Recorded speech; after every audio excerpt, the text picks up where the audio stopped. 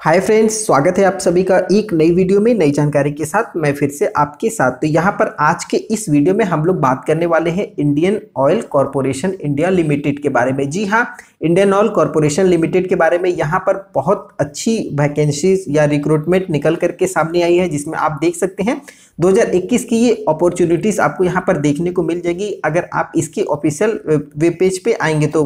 तो यहाँ पर आज के इस वीडियो में मैं बात करूँगा इस फॉर्म को आप कैसे अप्लाई करेंगे कौन कौन लोग इलिजिबल हैं, कैसे फॉर्म को अप्लाई करना है, क्या एज क्राइटेरिया रहने वाली है, आपका जॉब का जो पीरियड है वो कितने दिनों का आपका इसमें जॉब होगा और किस टाइप का जॉब आपको यहाँ पर मिलने वाला है, वो सब कुछ मैं यहाँ पर बात करूँगा।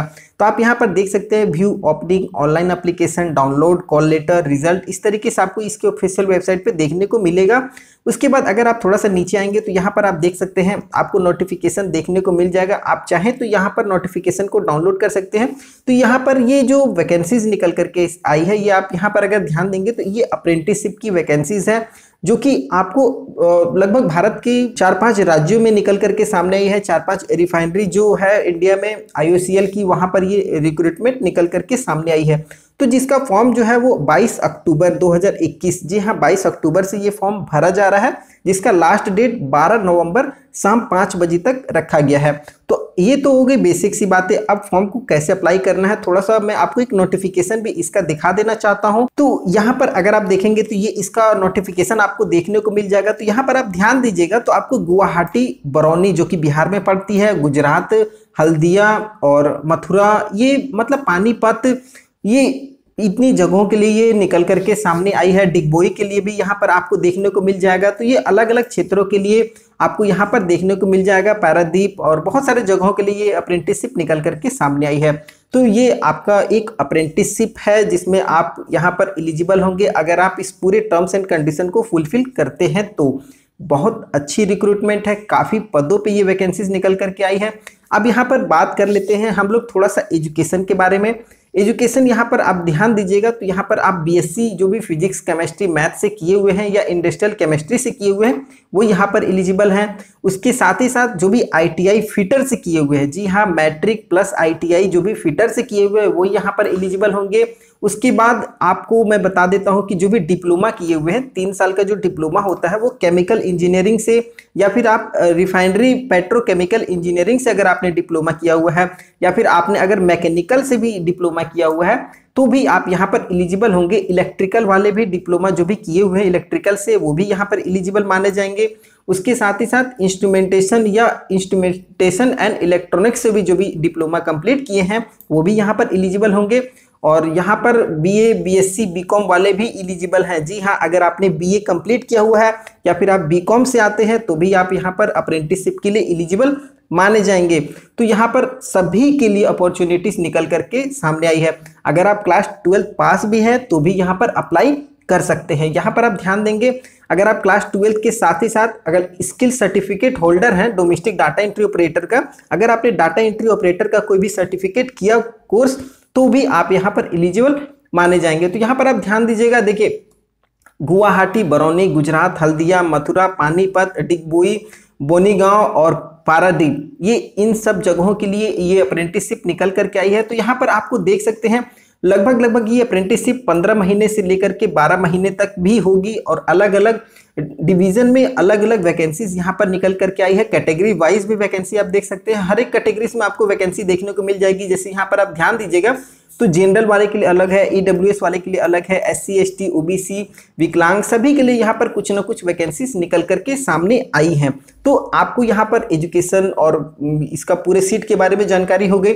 अब मैं बात कर लेता हूँ कि ये फॉर्म आपको कब से कब तक भरना है? तो उसके लिए मैं थोड़ा सा आपको नोटिफिकेशन में नीचे लेकर के चलता हूँ। आप वीडियो में बने रहिएगा। फॉर्म को कैसे अप्लाई करना है, वो भी मैं आपको दिखा दूँगा। एक एक स्टेप पे आपको बताने वाला हूँ। तो आप थोड़ा सा इंपॉर्टेंट जो नोट्स वगैरह हैं, वो आप यहाँ पर क्वालिफिकेशन या जो भी एजुकेशन क्राइटेरिया है, आप इसको पढ़ लेंगे। पढ़ने के बाद थोड़ा सा अगर आप नीचे आएँगे तो एज लिमिट में आपको बता देता हूँ कि 18 साल यहाँ पर मिनिमम मिनिमम मांगा गया है और 24 साल मैक्सिमम तो अगर आपका डेट ऑफ़ बर्थ 31 अक्टूबर 2021 को 18 साल से कम हो रहा है तो भी आप यहाँ पर एलिजिबल नहीं हैं।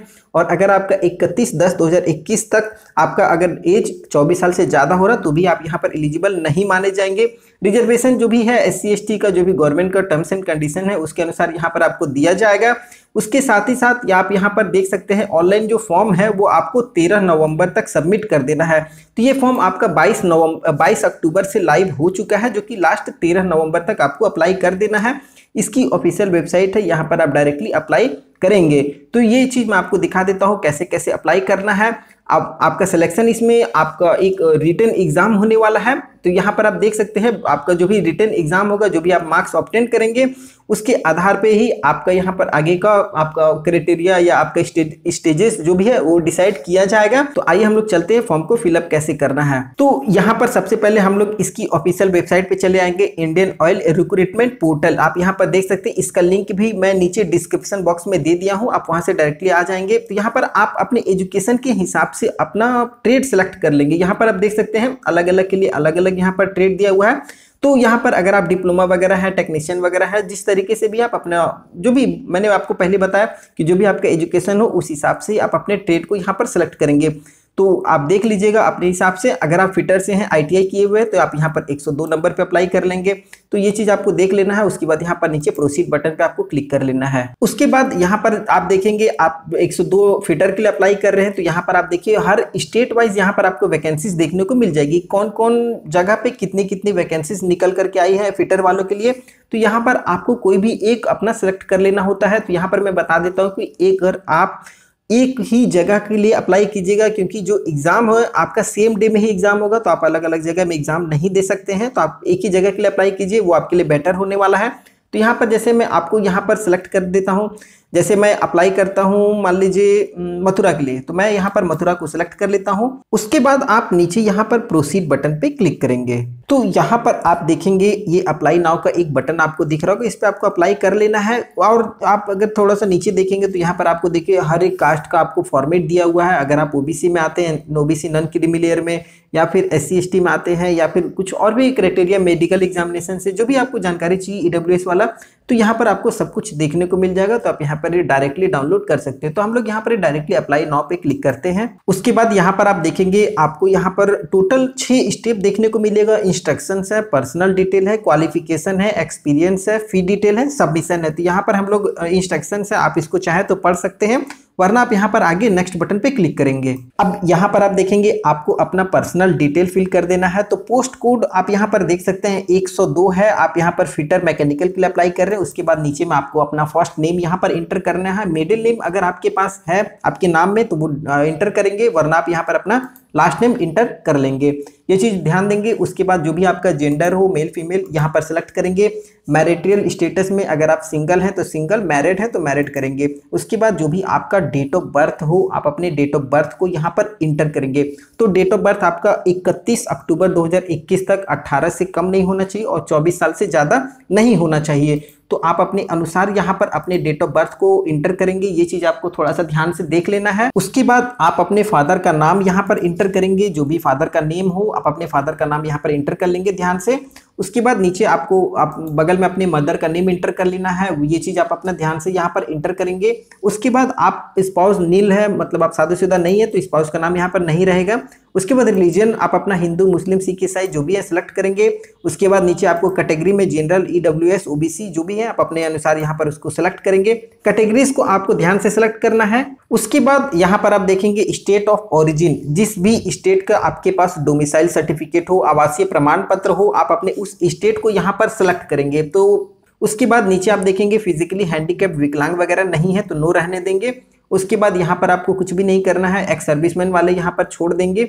उसके बाद यहाँ पर लाइबिलिटी टू डिक्लेयर यहाँ पर आप देखिएगा सेलेक्ट करेंगे तो यहाँ पर आपसे पूछा जाएगा have you been found unfit for position during medical examination अगर आप मेडिकल एग्जामिनेशन में अनफिट हुए हैं तो यहाँ पर यस करेंगे, नहीं है तो नो कर देंगे। उसके बाद have you been diagnosed with ailments defences of abnormal ये सब आपको यहाँ पर नो कर देना है। इस तरीके का आपके पास कोई भी इसका मेडिकल फिटनेस वगैरह प्रॉब्लम नहीं है। If you answer to any of the question is yes please furnishing the finding in brief अगर आपने इसमें से दोनों में से किसी में भी यस किया तो आपको यहाँ पर उसके बारे में डिटेल में जानकारी देनी होगी। नीचे आएँगे, आपको यहाँ पर अपना क्रोस्पोंडेंस एड्रेस जिसको हम लोग लोकल एड्रेस बोलते हैं, उसको आपको यहाँ पर फिल कर देना है। ये चीज़ आप अपना थोड़ा सा ध्यान से देख लेंगे, उसके बाद यहाँ पर आप अपने सिटी का नाम इंटर करेंगे। एड्रेस को आपको थोड़ा सा ध्यान से फिल कर लेना है, जो भी आपका एरिया पिन कोड हो, आप अपने पिन कोड को यहाँ पर इंटर करेंगे। उसके बाद आप अपने स्टेट जो भी स्टेट्स का आप डोमिसाइल दिए हैं वो आप इंटर करें या कुछ दूसरा भी। उसके बाद नीचे आपको अपना मोबाइल नंबर जो भी दस डिजिट का मोबाइल नंबर है, उसको यहाँ पर आपको इंटर कर लेना है। ये चीज़ आपको थोड़ा सा ध्यान से इंटर कर लेना है तो थोड़ा सा ध्यान से इंटर करेंगे। उसके बाद आपको यहाँ पर नियरेस्ट रेलवे स्टेशन आप जहाँ भी रहते हैं, उसका नियरेस्ट रेलवे स्टेशन कौन सा है, वो अपने रेलवे स्टेशन का नाम लिखेंगे। उसके बाद ईमेल आईडी प्राइमरी आपको एक अपना ईमेल आईडी यहाँ पर इंटर कर लेना है। ये चीज़ आपको थोड़ा सा ध्यान से देख लेना है। ईमेल आईडी को आप थोड़ा सा ध्यान से फिल करेंगे, उसके बाद आप अपना ऑप्शनल ईमेल आईडी में यहाँ पर दूसरा भी दे सकते हैं। उसके बाद यहाँ पर आप देखिए अपलोड सिग्नेचर है तो आपको यहाँ पर अपना सिग्नेचर को अपलोड करना है, उसके बाद यहाँ पर आपको अपना फ़ोटो को अपलोड करना है। तो यहाँ पर मैं आपको अपना सिग्नेचर दिखा देता हूँ, कैसे अपलोड करेंगे। यहाँ पर चूज़ फ़ाइल पे क्लिक करेंगे तो यहाँ पर आप देखेंगे ये आपका सिग्नेचर यहाँ पर अपलोड हो चुका है। अगर आपको नहीं दिखे तो आप यहाँ पर रिफ्रेश बटन है, इस पर आपको क्लिक कर लेना है। रिफ्रेश कीजिएगा, आपको यहाँ पर अपना सिग्नेचर दिख जाएगा। उसके बाद यहाँ पर आप अपने फ़ोटो को अपलोड करेंगे तो यहाँ पर चूज़ फ़ाइल पे क्लिक करेंगे। फ़ोटो आपका 125 पिक्सल से पंचानवे पिक्सल के बीच में होना चाहिए और दस के बी से कम नहीं होना चाहिए। तो यहाँ पर आप देखेंगे, आपने अपना फ़ोटो और अपना सिग्नेचर अपलोड कर लिया। उसके बाद नीचे आपको नेक्स्ट बटन पे क्लिक कर लेना है। उसके बाद अगले स्टेप में आप यहाँ पर ध्यान देंगे, क्वालिफिकेशन से रिलेटेड जानकारी मांगी गई है। तो whether full time regular course तो आपको यहाँ पर यस कर लेना है। आप फुल टाइम रेगुलर कोर्स किए थे आईटीआई में तो आपको यहाँ पर यस करेंगे। उसके बाद वेदर पास्ट अगर आप पास हो चुके हो हो चुके हो तो यहाँ पर यस करेंगे। उसके बाद नीचे आपको अपने इंस्टीट्यूट का नाम इंटर कर लेना है। तो यहाँ पर आप अपने इंस्टीट्यूट का नाम इंटर करेंगे। उसके बाद नेम ऑफ़ एजुकेशन बोर्ड या एफिलेटेड यूनिवर्सिटी तो अगर आप एन है या जो भी आपका यूनिवर्सिटी या बोर्ड वो आप अपना यहाँ पर नाम लिखेंगे। तो उसके बाद मंथ ऑफ़ ईयर एडमिशन किस महीने में आपने एडमिशन लिया है? नॉर्मली जुलाई, अगस्त में ही हम लोग आई का एडमिशन लेते हैं तो अपने हिसाब से उसको यहाँ पर सिलेक्ट करेंगे। उसके बाद मंथ ऑफ़ ईयर पासिंग तो जिस महीने में आप अपना पास आउट किए हुए हैं, उस मंथ को सिलेक्ट करेंगे। उसके बाद ईयर को आप अपना यहाँ पर सिलेक्ट करेंगे। अगर 18 से 20 था तो 20 यहाँ पर आपको सिलेक्ट उसके बाद ड्यूरेशन ऑफ़ कोर्स आप यहाँ पर यहाँ देखने को मिल जाएगा। दो साल, एक महीने का आपका पूरा कोर्स था। मंथ ईयर एडमिशन सब कुछ आप यहाँ पर फिल कर लिए। उसके बाद date of declaration publishing of result एवं इंटर क्वालिफिकेशन तो यहाँ पर आपको थोड़ा सा एक चीज़ ध्यान देना डेट ऑफ़ डिक्लेरेशन या पब्लिशिंग ऑफ़ रिज़ल्ट तो आप अपने रिज़ल्ट में देखेंगे, कोई एक डेट लिखा रहता है, नीचे में लिखे रहेगा कि आपका रिज़ल्ट कब पब्लिश हुआ या कब प्रिंट आउट हुआ, वो डेट आपको यहाँ पर इंटर कर देना है। तो आप अपने अनुसार यहाँ पर उस डेट और महीने या दिन को सिलेक्ट कर लेंगे। तो ये चीज़ आपको थोड़ा सा ध्यान से देख लेना है। उसके बाद थोड़ा सा नीचे आएँगे तो आपको अपना मार्क्स का पैटर्न इंटर करना है। जैसे यहाँ पर आप देखेंगे सेमेस्टर वाइज या ईयर वाइज तो यहाँ पर नॉर्मली हम लोग आई में ईयर वाइज होता है तो ईयर वाइज रहने देंगे। उसके बाद ईयर सेमेस्टर नंबर वन तो आपको सेमेस्टर नंबर वन में कितना मार्क्स ऑप्टेंड हुआ है, वो आपको यहाँ पर इंटर कर लेना है। आप अपने अनुसार यहाँ पर उसको इंटर करेंगे। टोटल जितना का भी मार्क्स रहा हो, मान लीजिए वन थाउज़ेंड का रहा हो तो आप यहाँ पर उसको ऐड करेंगे। ऐड करने के बाद ऐड रिकॉर्ड कर देंगे इसको। तो ऐड रिकॉर्ड कर देंगे, ये आपका हो गया फ़र्स्ट ईयर का। उसके बाद सेकेंड ईयर का आपको ऐड कर लेना है तो सेकेंड ईयर में आपका कितना है, वो यहाँ पर आपको ऐड कर लेना है। ऐड करने के बाद यहाँ पर फिर से ऐड रिकॉर्ड में क्लिक कर देंगे तो ये भी आपका यहाँ पर ऐड हो जाएगा। उसके बाद यहाँ पर आपका टोटल एग्रीगेट मार्क्स और एग्रीगेट परसेंटेज आपको यहाँ पर दिख जाएगा। उसके बाद अगर आपके पास कोई भी प्रोफेशनल क्वालिफिकेशन है, जैसे अगर आपने B B tech M B A C L L B वगैरह भी किया हुआ है तो यहाँ पर उसको सेलेक्ट करेंगे। अगर नहीं किया हो तो आप इसको छोड़ देंगे। उसके बाद नीचे नेक्स्ट बटन पे आपको क्लिक करना है। तो यहाँ पर मैंने नहीं किया तो मैं इसको नो ही कर देता हूँ। ये ज़्यादा बेटर रहेगा। अब यहाँ पर आपसे एक्सपीरियंस मांगा जा रहा है। अगर आपका कोई एक्सपीरियंस वगैरह है तो आप यहाँ पर दे सकते हैं। मैं आपको बता देता हूँ कि अगर आप पहले से जॉब वगैरह किए हुए हो या फिर आपने अप्रेंटिसशिप किया हुआ है तो आप यहाँ पर एलिजिबल नहीं माने जाएँगे।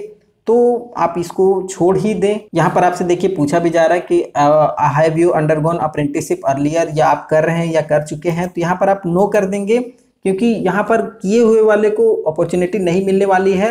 आप यहाँ पर नो करके नेक्स्ट बटन पे क्लिक करेंगे। अगले स्टेप में आप देखेंगे, आपसे फ़ी डिटेल यहाँ पर मांगा जाएगा। तो यहाँ पर you are accepted for paying any application fee you may proceed to application submission तो यहाँ पर आपसे कोई भी फ़ी नहीं लिया जा रहा। ये फॉर्म बिल्कुल फ्री है। तो आप अगले स्टेप में बढ़ेंगे। यहाँ पर नेक्स्ट बटन को फिर से क्लिक करेंगे। उसके बाद यहाँ पर आप फॉर्म सबमिशन पे देखेंगे। एक चीज़ मैं और आपको यहाँ पर बता देना चाहता हूँ कि इसकी जो साइट है, थोड़ी सी स्लो चल रही है। तो आपको इसको रिफ्रेश कर करके ही भरना है तो आप बिल्कुल भी पेशेंस रख करके इस फॉर्म को फिलअप करेंगे।